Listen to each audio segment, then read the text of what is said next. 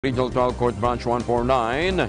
Sa walong kaso ng money laundering, ang dating RCBC Jupiter Branch Manager na si Maya De Quito. Ito'y kaugnay ng 81 billion o 81 million dollars na nakaw na salapi mula sa Bangladesh Bank na idinaan sa RCBC Jupiter Branch. Ang kaso laban kay De Quito ay nagugat sa over-the-counter withdrawal ng 14.3 million US dollars na bahagi ng 81 million dollars na laundered fund. Sa 26 na pahinang desisyon na may lagda ni Judge uh, Cesar Untalan, sinabi nito na kumbinsido ang korte na dapat managot si Riquito sa walong kaso ng money laundering. Ipinatawag pa ng Korte Suprema o tinawag pa ng Korte Suprema na kasinungalingan ang depensa ni Digito na wala siyang kinalaman sa transaksyon ng nako na salapi. Dahil bilang branch manager ng bangko, ito ay may command responsibility.